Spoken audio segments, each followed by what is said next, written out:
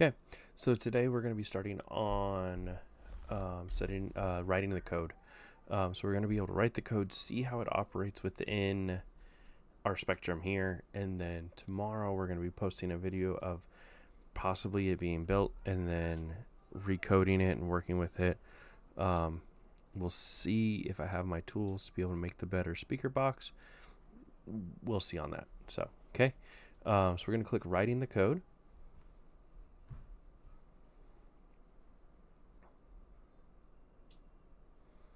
Okay, I'm to go back to the beginning. I've already written the code. So what I'm to do is I'm just to hit and get rid of it. Um, so right now what it's talking about is going through. So instructions hit the next setup. So it already has its default setup in here.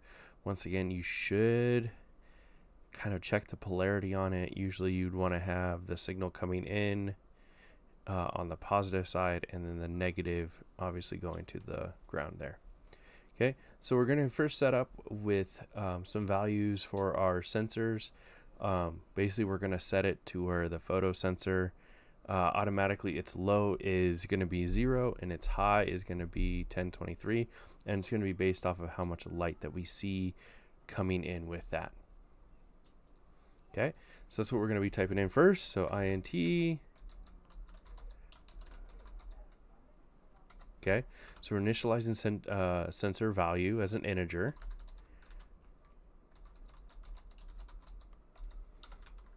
And we're going to go low is 1023.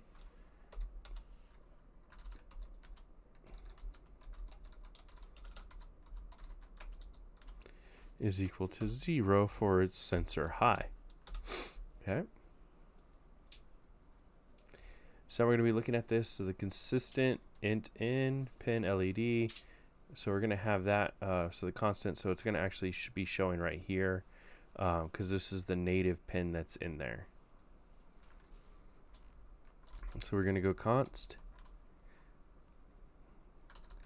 int LED pin equals 13.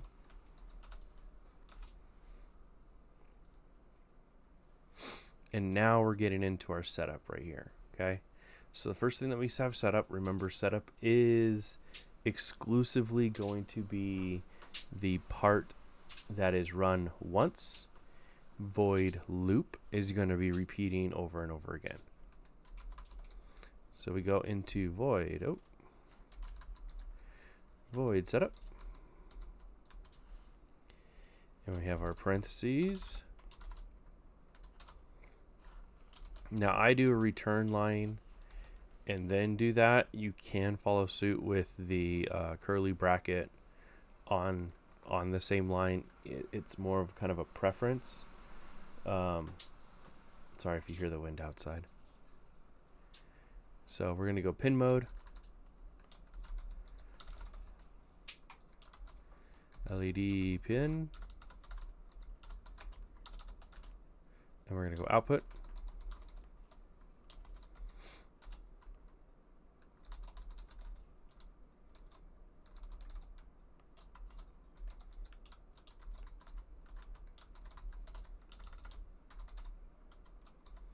Make sure you're following in and you're using consistent um, uh, consistency within the variables. If it does label output as all caps, it has to be all caps. Once again, high um, and low also also need to be all caps. Okay, so now we're going to do a serial begin.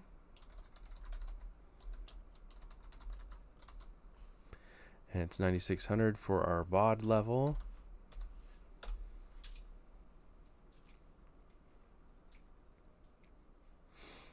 So, and this is going to do while millis is less than 5,000. So the millis um, statement is going to just keep a running timer going. So for five milliseconds. Um, and it's just going to continually see that and running within it. Huh. Sorry there.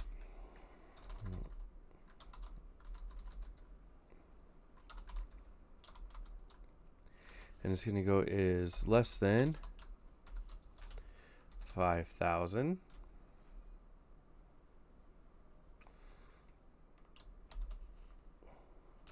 And then we're going to have another curly bracket inside of it.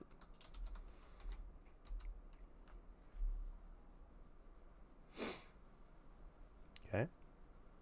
So what it does is while the loop runs continuously until the condition in the parameters is met, in this case it'll run uh, while the total elapsed time is five is less than five seconds or 5,000 milliseconds, uh, and then move on to the next section. So what we're going to be doing within this section right here is is it's actually going to be taking the reading of our default surroundings. So this is going to be kind of a dynamic tool that we can do anywhere. Okay. So we're going to go sensor value. We're going to go analog read a zero.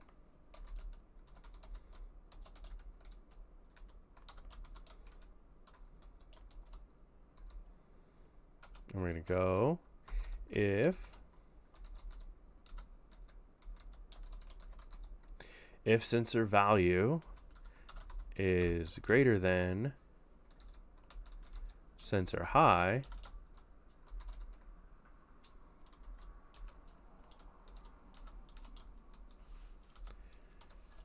then sensor high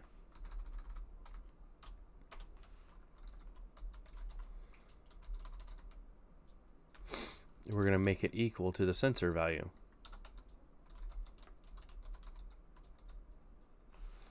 Okay.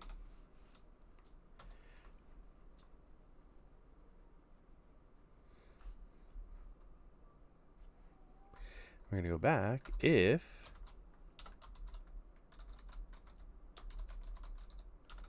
value is less than low, sensor low,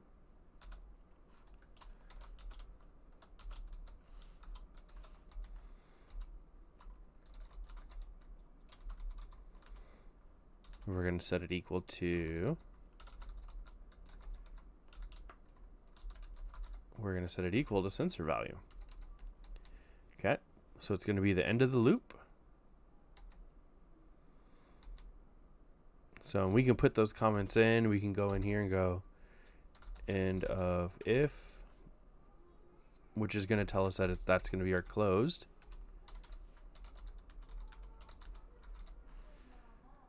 Okay, now we get to our end of loop.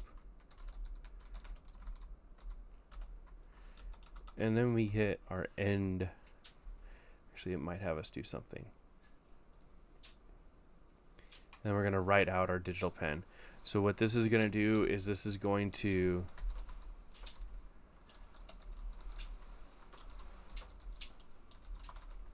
this is going to write out low or turn off that little LED pin that's attached to 13 also, which is right here. Okay. And that's going to be the end of our setup.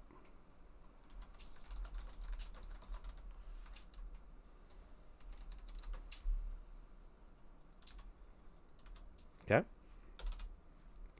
So now we're going to get into our loop part of it. So we're going to get into void loop. Curly bracket, curly bracket. And we're going to go sensor value is equal to the analog read a zero.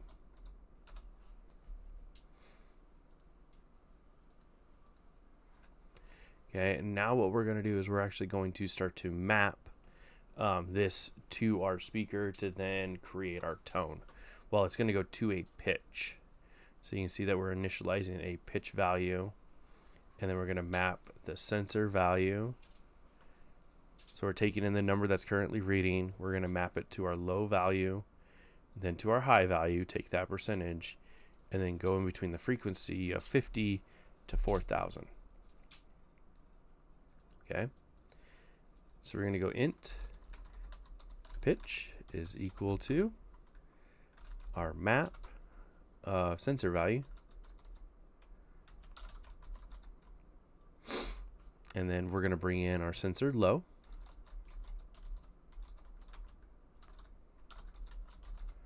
Sensor high. And then now it's our frequency. So 50 to 4,000. Okay, so what that's doing is once again, that's just mapping it in between our sensor value, or it's reading our sensor value, and it's basing a percentage in between either sensor low to sensor high, and then equating it to the same range as pitch. Okay, so now what we're going to do is we're going to get into the tone. We're going to use that pitch, okay, to create that tone. So we're going to go tone. Then we're going to go pitch 20. Okay, so that's going to set our pitch. Okay, and you can see out here, so the output pin, so it's 8 because we have it going out 8. We can see the pitch in hertz. Okay, so that's our pitch in hertz.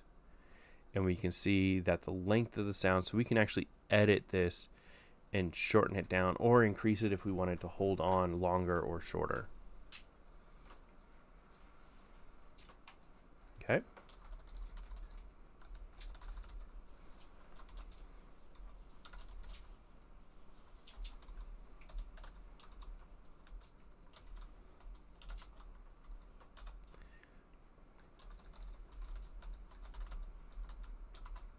Now these two lines, the serial.print and the serial.println, um, or ln, not in, most people will get that confused, um, is just printing out a line inside of our serial monitor. You'll see that in just a second. Okay. And then this is our end of loop. Okay, so that's just going to print out what that pitch equates out to. Okay. So now what we're getting into is how this runs. Okay. So what we're going to do is we're going to be adjusting this over here to set our sensor value during that first five seconds. And then we're going to be going into to calibrate that. Okay. And then we'll be able to set, uh, select it, the pitch by adjusting it and sliding it. Okay. So this is going to be tomorrow. We're going to see that kit um, but I'm going to use it right now. So it's initializing stop. So we have to move this up, move this down. Okay, we move it up, move it down. And we can see for... Yeah. Okay. So we're waiting for that five seconds. So it's taking those readings.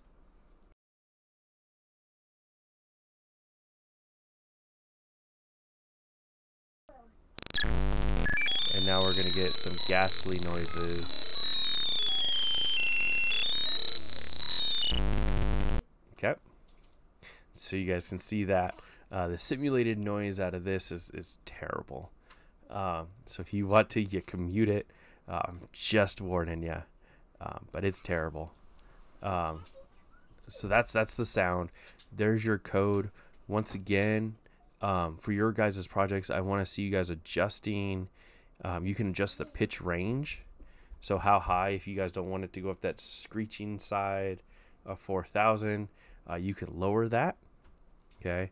Um, and then you can adjust the millisecond runtime. So see what happens in your guys' simulation when you adjust it. Okay. Um, that's the code for us today. Um, that's getting us through that. Um, and then we'll be able to see uh, what I'd hoped to do is see if you guys could also write this, so our digital pen LED. Let's set that up instead of using the built-in pin. Let's set up a pin out here and let's use that. Okay. Um, cause that's, it, it's a little bit different. Okay. And if you guys want a, just a little bit more of a challenge, let's then use that same pin and let's map it to a new sensor or to a new value. Okay. Remember our LEDs can go from 0 to 255 so we can map that sensor value to that LED, and so it'll give us kind of an, an indication of how much light it's getting on it.